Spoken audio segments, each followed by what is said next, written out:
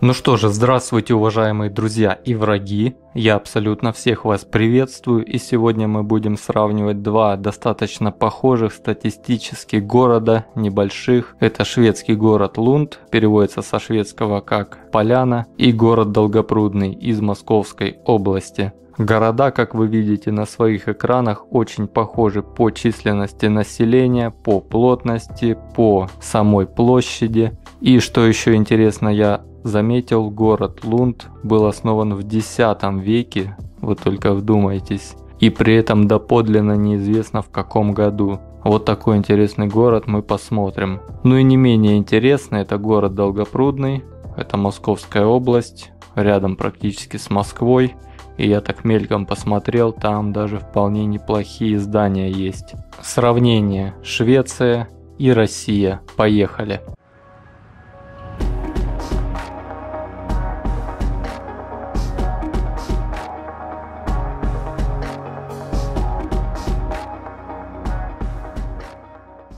Город Долгопрудный будет у нас в начале. И спасибо огромное заказчику за то, что он предоставил такие достаточно похожие города. Он меня просил мельком посмотреть пару улиц. Ну, практически это будет даже, грубо говоря, одна улица. Это территория МФТИ, Московский физико-технический институт.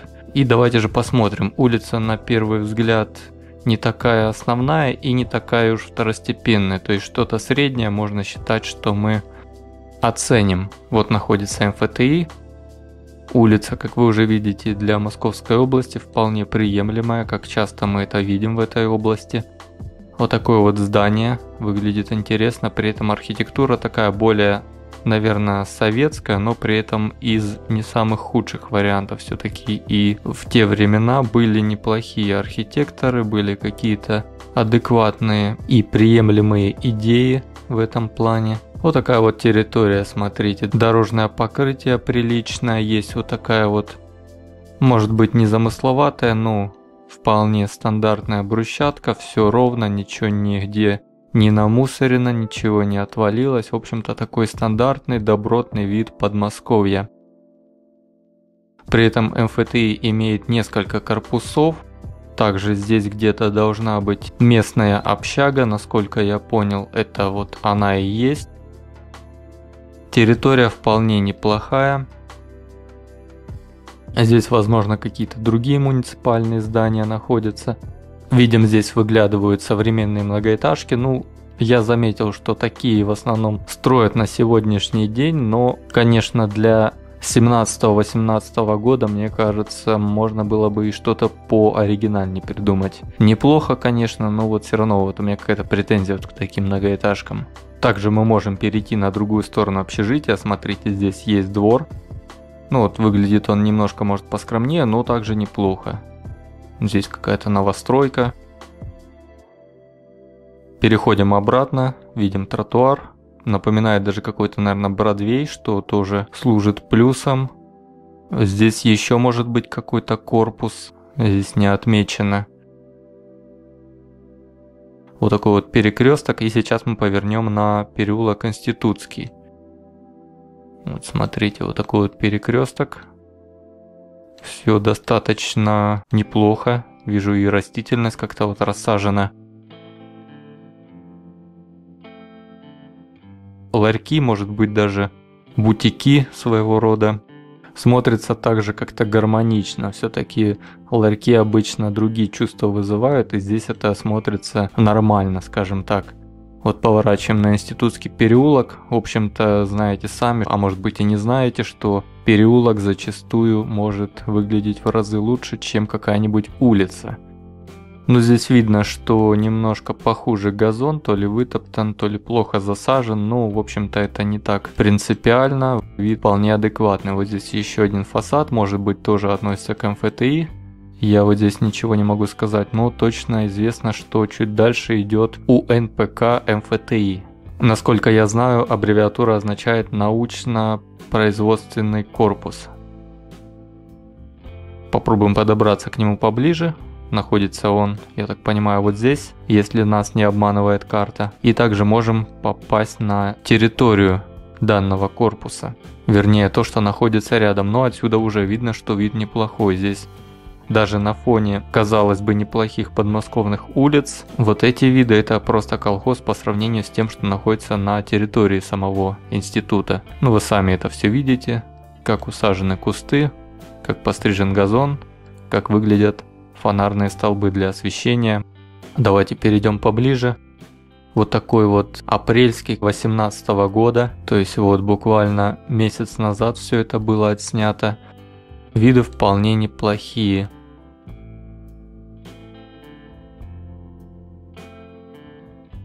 Смотрите, солнечные батареи, они почему-то отображаются в таком вот качестве, может быть, плохо отсняли. Я так понимаю, что заряжается уличное освещение, уличные столбы, и ночью это все светит. В общем-то, хорошая практика, я считаю, что нужно везде ее внедрять, но по понятным причинам я думаю, что некоторому кругу лиц это невыгодно. Давайте же отправимся в город Лунд и хочу также отметить, что первое сравнение и единственное Швеции с Россией было в городе Мальме шведском. И я позже узнал о таком сериале, как сериал «Мост», вполне даже удачном, который даже сейчас начала копировать Россия в своих сериалах также до этого делала США. И вот действие разворачивается в городе Мальме и в городе Копенгаген. Шведский сериал, шведско-датский. И вот такое вот может быть совпадение, а может быть заказчик это все предусмотрел и ему стало интересно. Сам мост который действует в сериале. И, кстати говоря, почему-то никто не догадался предложить мне сделать сравнение какой-нибудь страны с Данией поскольку Дания, на мой взгляд, является одной из топовых стран для жизни простого гражданина. И панорамы там то еще зрелище. Я ни в одной стране такого практически не видел. Может быть что-то похожее, но далеко не то. Давайте отправимся на что-то второстепенное, но при этом не самое отдаленное и не самое центральное. Что-то похожее на то, что мы смотрели в городе Долгопрудный. Ну, в общем-то, ладно, не будем сильно уходить на какой-то принцип, давайте выберем что-то не сильно далеко от центра, не самую маленькую улицу. Вот вполне, я думаю, адекватный вариант. Ну, вот такая вот жизнь, как вы видите, происходит в городе Лунд. В шведской поляне, так сказать. Вот такая вот интересная ракета здесь стоит. Чем-то вспомнились советские дворы, там тоже в некоторых местах что-то подобное стояло. Ну, для кафе, конечно, интересная идея. Здесь кафе, я так понимаю. Видим, что тротуар уложен брусчаткой, вполне такой привлекательной, приятной на вид. При этом какие-то плиты старые выложены, непонятно для велосипеда может быть. Скорее всего, поскольку велосипедов здесь много. И вот помните, я в последнем видео про Латвию говорил, что часто в Скандинавии вижу вот такие вот уложенные участки из брусчатки на различных островках безопасности, на каких-то углах, на переходах. И знаете, что я сразу же вот заметил по сравнению с подмосковным городом? Это то, что здесь на порядок чище. Я, конечно, не говорю про архитектуру, несмотря на то, как бы хорошо не было Подмосковье, но все-таки европейская архитектура, плюс еще такой город старинный, Здесь и говорить не о чем, смотрите, вроде бы похожи на друг друга дома, кирпичные, из мелкого кирпича, но смотрится это очень даже неплохо. Вот мелкий кирпич и крупный кирпич это принципиальная разница. Вы сравните какой-нибудь краснодарский дом и дом, который находится в США или в Швеции.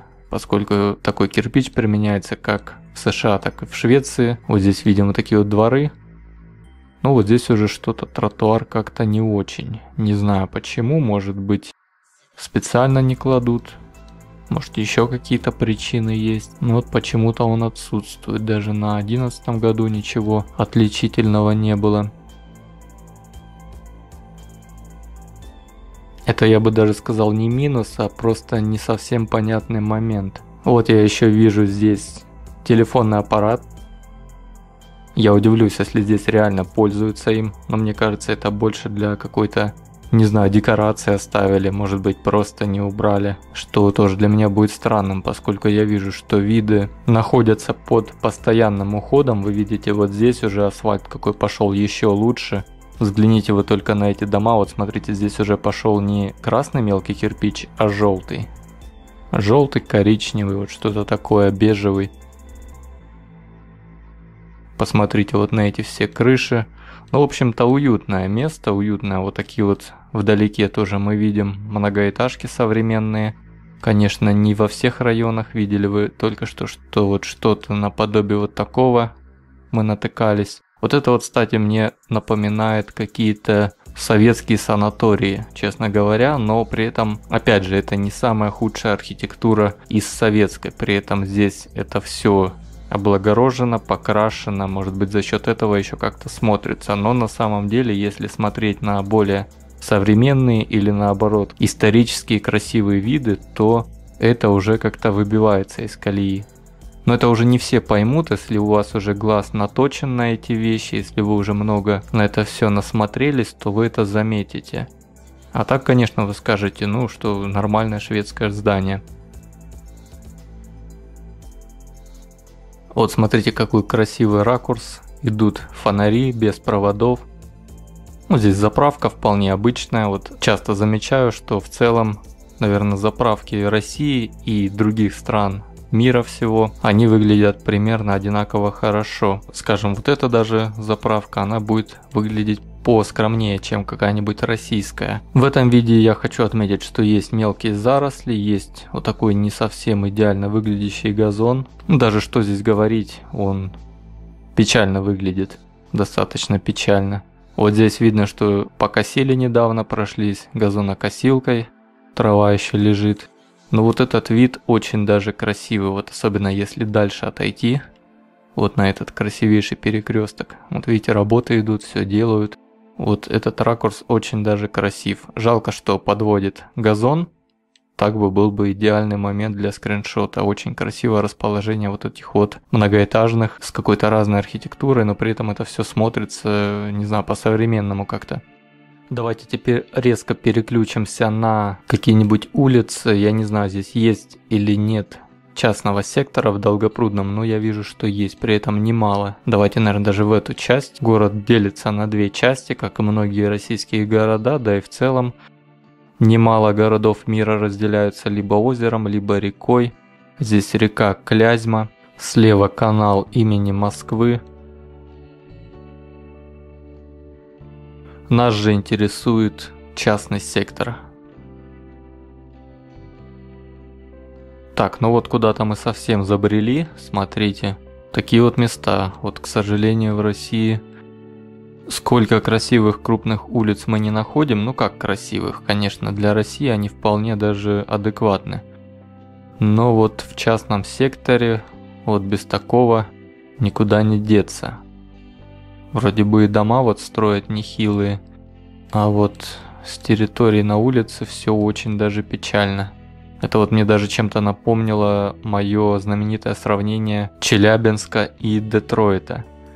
И вот в Челябинске были вот такие вот заросли на фоне примерно такого же забора. Вот такие вот виды. Ну ладно, в общем-то, Давайте еще один вид выберем, ну, этот вид, вы сами понимаете, он ну, совсем никудышный. Вот здесь уже выход идет на более такую основную улицу в этом районе. Поэтому, думаю, будет справедливо еще на один частный сектор перейти.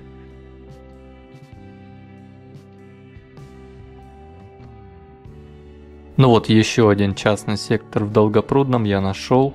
Пришлось вернуться ниже, чтобы больше вероятности было на частный сектор напороться. Ну, дорожное покрытие неплохое. Видно, что улица оживленная, идет из какого-то района в другой. Обычно это так обстоят дела, когда в такой жилой зоне такой оживленный трафик. Ну, видите, тоже, да, на обочинах все оставляет желать лучшего. Вот, вот эти вот тропинки, это вообще то еще зрелище. При этом хочу отметить проблема еще с нахождением частного сектора в том, что он не весь отснят. Ну, учитывая на то, что мы попадали я думаю, понятно, почему он не весь отснят. Ну и также хочу отметить, что Возможно, здесь наблюдается тенденция, что частный сектор заменяется на какие-то более многоэтажные дома, и поэтому частный сектор не в самом лучшем виде. Я считаю, что на самом деле это очень плохая тенденция, поскольку ну, хороший ухоженный частный сектор, как где-нибудь в Швеции и многоэтажный дом, я думаю, намного лучше частный сектор. Ну, видите, вот делают тоже, делают много чего. Вот здесь виды, конечно, те еще, ну, то, что что-то делают, не знаю что, но тем не менее. В общем, ладно, думаю, осмотр частного сектора в Долгопрудном это больше напоминает избиение какого-то лежачего. Поэтому давайте насладимся видами частного сектора в городе Лунд и перейдем к многоэтажным домам, дворам. Я думаю, этого как в Долгопрудном, так и в Лунд можно найти немало. Также пошаримся по каким-нибудь совсем окраинам, чтобы не было упреков, что я сравниваю центр с окраиной. Чтобы было максимально объективно. Ну, здесь, конечно, сразу же видно, что мы находимся не в Долгопрудном, не где-нибудь в Химках. Несмотря на то, что недавно в Подмосковье мы видели неплохие виды частных дворов, но сравнивать любой даже хороший частный сектор с любым домом в Швеции, я думаю, это просто бесполезно. И ведь, понимаете, я же не зря это все вам постоянно показываю. Вы должны понимать, что в каждом видео я несколько улиц просматриваю, натыкаюсь на европейские дворы, фасады, дороги. И вы должны понимать, что вот сколько раз мы смотрели, и постоянно мы вот попадаем на подобные картины.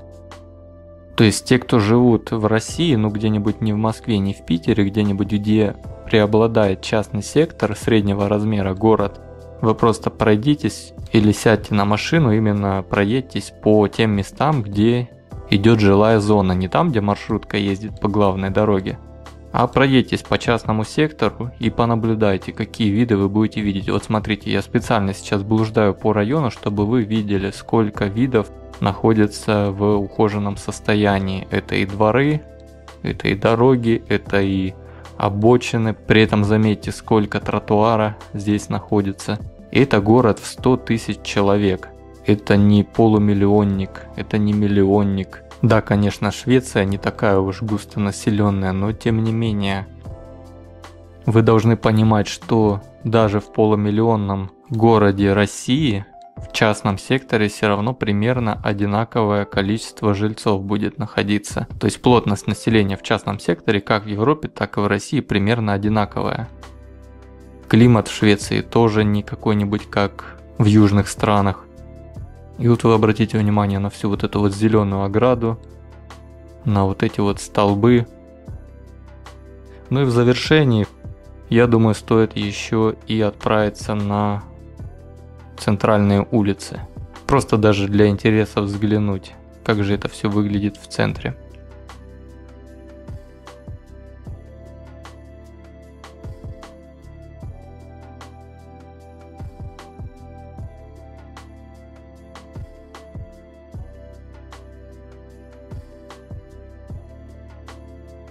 Вот такие вот виды, и я не пожалел, что все-таки решил уделить время для центральных улиц, может быть не самая центральная, но вот чтобы понять дух вот этой вот жизни в центре города. Вы посмотрите, как это все интересно выглядит, сколько здесь народа. Я даже не узнаю, что я бродил по городу Лунд. То есть здесь какой-то вот прям контраст, и при этом что там, что здесь хорошо, но при этом очень по-разному все это выглядит.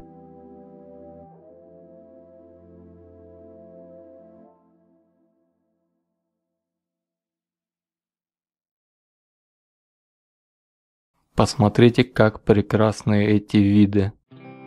Вы только на это посмотрите. Почему я не начал ролик именно с этого? С другой стороны, даже хорошо, потому что я немножко уже устал сидеть, смотреть панорамы. И меня это немножко приободрило. Вы только взгляните на эту всю красоту. Вот давайте любой сейчас вид центральных улиц в Долгопрудном посмотрим.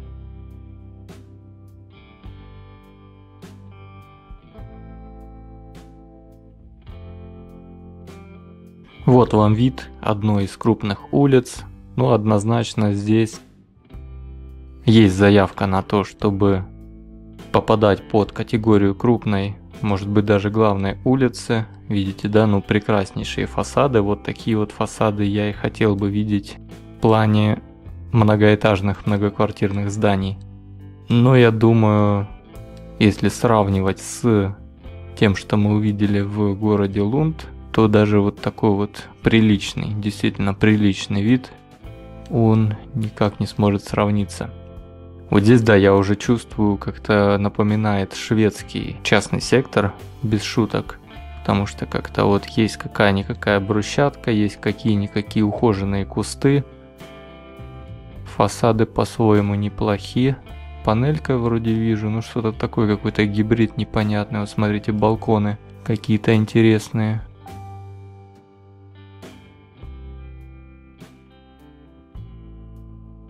И улицы почище, ну, затоптаны тропинки. И не без этого также в перемешку с панельками уродливыми. Все вроде бы и красиво, но и вроде бы есть много грубых таких достаточно косяков для целой панорамы.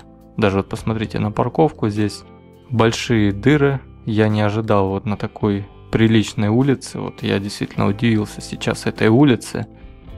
Но когда ты сворачиваешь на пару метров вправо или влево, ты натыкаешься на вот такие вот огромные дыры, которые даже в маленьком городе не всегда встретишь. В российском. Вот, панельки такие вот. Дорога вот очень красиво смотрится. То есть напоминает даже что-то, как в Сочи мы смотрели. Действительно, здесь видно, что хоть как-то поработали над городом. Ну, видите сами вот эти вот запыленные, затоптанные, заезженные газоны. Вот смотрите, как паркуются, да? И вот тем не менее, да, я говорю, что смотрите на крупную улицу и смотрите на крупную улицу города Лунд. Я понимаю, да, что здесь очень много исторической составляющей, я здесь абсолютно не спорю. Но вы даже возьмите какой-нибудь Калининград, вы найдете вот такие вот виды. Это вот небольшой город. Я понимаю, можно сказать Питер, но Питер, во-первых, намного больше город, и даже там вы такие виды не найдете. Вы только посмотрите на эту красоту. А вот смотрите, что я нахожу.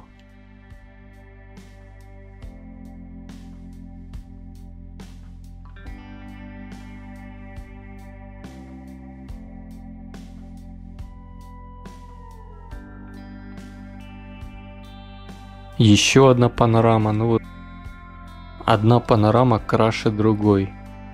Я удивляюсь, сколько всего в этом городе прекрасного находится.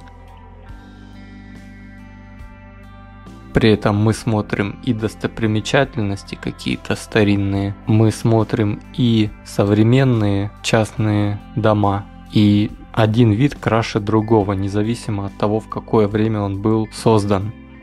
Ну и давайте закончим на такой вот панораме, то, что поистине называется Лунд – Возможно, когда-то изначально это и выглядело все вот так, а потом начала появляться вся вот эта вот архитектурная красота, которую мы только что видели. Не забудьте поделиться этим или другим каким-то роликом с друзьями или своими знакомыми. Тот, кто интересуется данной тематикой путешествий, городских панорам, просто интересуется различными городами той или иной страны. Для меня очень важна ваша поддержка. Также можете предложить свое сравнение, если вам это интересно. Ссылки есть в описании, там можете почитать, все довольно-таки просто. Если вам понравилось это видео, вы досмотрели до этого момента, то можете поставить лайк, если вам понравилось это видео, и оставить свое впечатление в комментариях, обсудить, на какие детали больше стоит обращать внимание в моих сравнениях. Ну и до скорого, ждите новых роликов.